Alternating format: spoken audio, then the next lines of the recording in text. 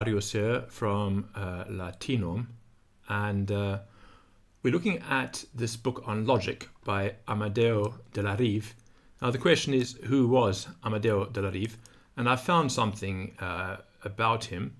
He was a rector of the Scientific Academy in Geneva, and uh, so we have this uh, millesimo septingentesimo trigesimo uh, altero, so 1732 anno uh, Christianae millesimo septingentesimo trigesimo primo mensis Junii die vigesimo altero when randi pastorum et professorum Caetus suffragis accedente amplissimi senatus confirmatione um, let me make this a bit bigger here so I can actually read what I'm it's a bit small um, confirmatione rector academiae renuntiatus est Ezekiel Galatinus, pastor, et philosophiae professor, qui die vicesimo altro februari, anni aerae Christiane, Christiani, millesimo, septingesimo, tregesimo altro,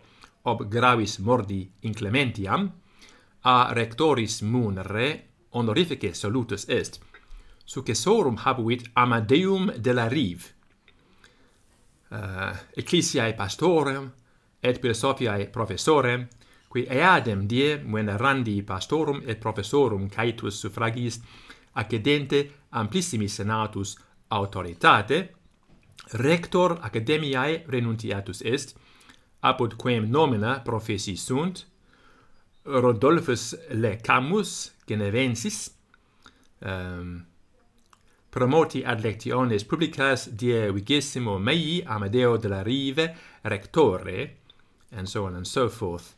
So this is a book uh, called Catalogue des étudiants uh, de l'Académie de Genève um, from 1559 to 1859 so there we have it. He was the rector in 1732 of the Academy of Geneva.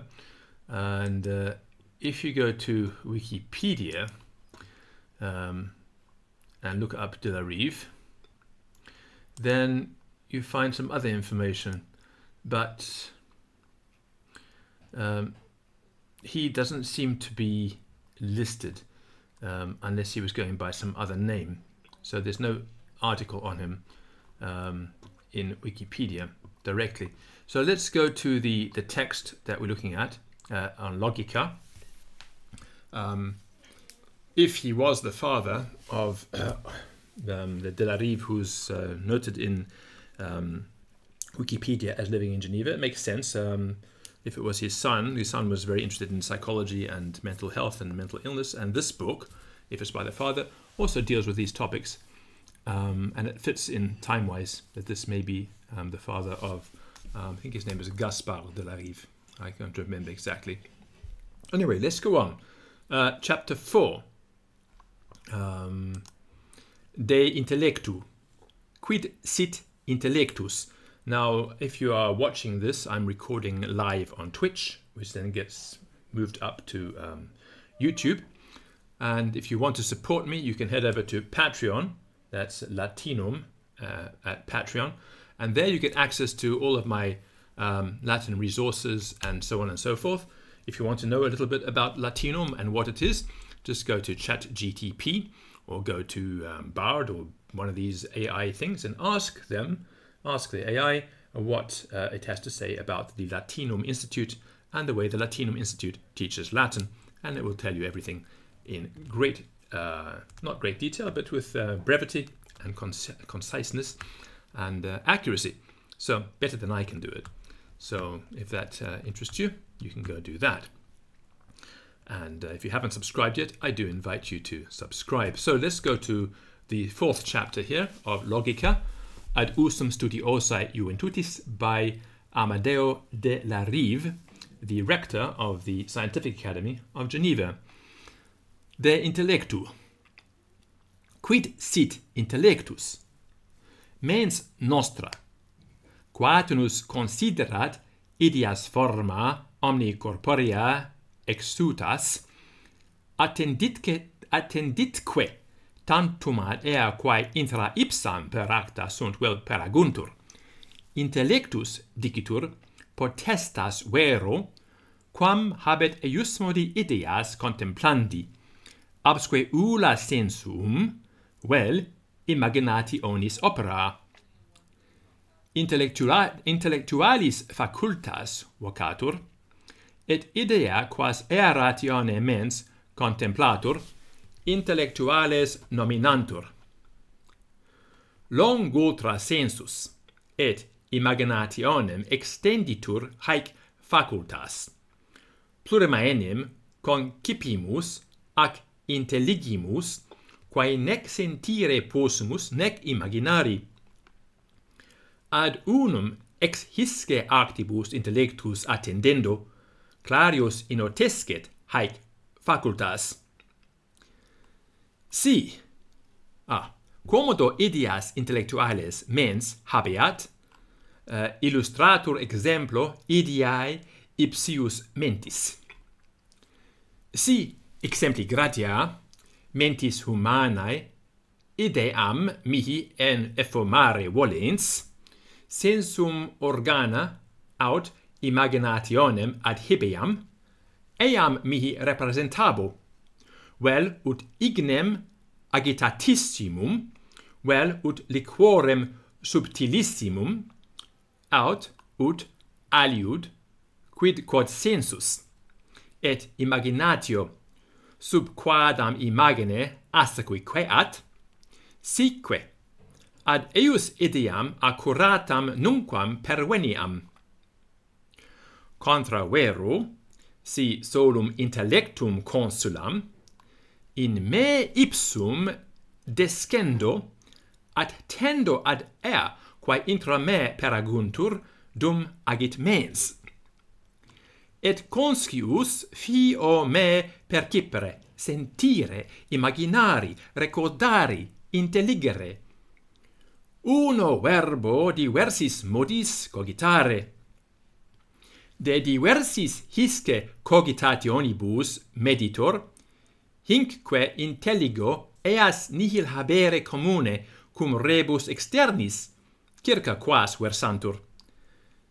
Nec cum organis sensuum, quorum opeas percipio, sed esse totidem facultates aliquis entis, in me deversidome cogitantis, a corpore meo diversi, quies ideam ex eius operationum conscientia habio, quem ad modum corporis, ex eius proprietatum contemplatione notionem mihi efformo. Quod ad plicari potest aliis idiis intellectualibus, Quae de idia mentis dicimus applicari debent ideae Dei, ideis omnibus universalibus et abstractionibus quibus cunque. Immo, ideae omnium mentis actuum et operationum, perceptionum, sensationum, imaginationis, memoriae voluntatis, libertatis, affirmationis, negationis, dubii, opinionis, certitudinis, falsitatis et caetera, abstracte consideratorum sunt intellectuales.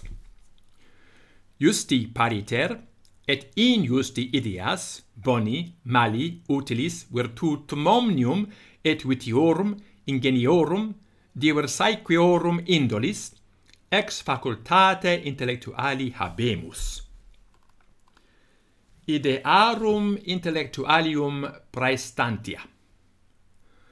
Omnes ideae, quae menti observantur suos habent usus, sed intellectuales ad cognitionem veritatis, animi tranquillitatem, eiusque perfectionem maxime faciunt. Corrigit errore sensuum, sensuum organa nos fallunt. Si adversus eorum errores nos non praemuniamus. De cautionibus ad eos vitandos adhibendis nos monet intellectus. Sensus in usu sensibilium voluptatum nos detinent, sed puras quae ex veritatis et virtutis cognitione. Officiorumque praxi nascuntur voluptates in nobis procreat intellectus exercitium. Et imaginationis. Imaginatio confusas saepe quandoque falsas. Rerum imagines nobis representat, intellectus vero res sicuti sunt, et nitide apprehendit. Res ostenditur exemplis antipol, an, antipodum figurae uh, centum laterum. Figurae centum laterum. Antipodum. Eios tibi representabit capite et pedibus inversos eos autem erectos, ut nos sumus, cogitabit intellectus. Finge, per imaginationem figuram centum lateribus terminatam, ab altera nonaginta octo aut novem habente, non erit distincta. At intellectus clare ilam concipit latera et anglos numerat metitur iorum quantitatem et magnitudinem determinat. Aliasque eius proprietates demonstrare potest.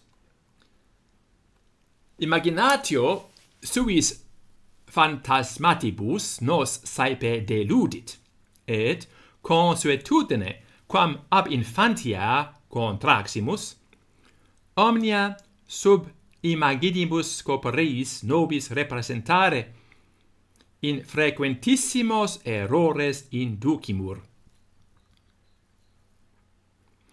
Ideae Dei sub figura quadam ab imaginatione representi. Hinc nos nimium communis Deum sibi representandi sub imagine senis aut alia corporea, unde idolatria. Hinc vacui sui inanis possibilitas, et existentia ab ipsis philosophis, philosophis negata, quod imaginationem suam adhibeant, ubi nihil imaginandum datur. Hinc existentia fluidorum aere subtiliorum, idea aeris et materiae subtilioris. Hinc existentia fluidorum aere subtiliorum, animalculorum, aut seminum tantae tenuitatis, ut imaginationem superrent, vix a multis admititur. Licet observationibus et microscopiis res facto constet et uh, divisibilitatis materiae ad infinitum. Hinc divisibilitas materiae in infinitum, quam imaginatio assequi nequit, tot et notabiles nacta est adversarios, cuies tamen claram ideam sibi format intellectus, si modo, ut par est concipiatur sic confusas, obscuras et falsas ideas, quae ab aliis mentis facultatibus excitari possent, ab intellectu corrigi et reformari evidenter patet. Consilia ad rectum intellectus usum. Praecepta feromnia, quae logica tradit, neque hic non congerimus ad intellectus perfectionem faciunt. Hic tantum modo monemus primum.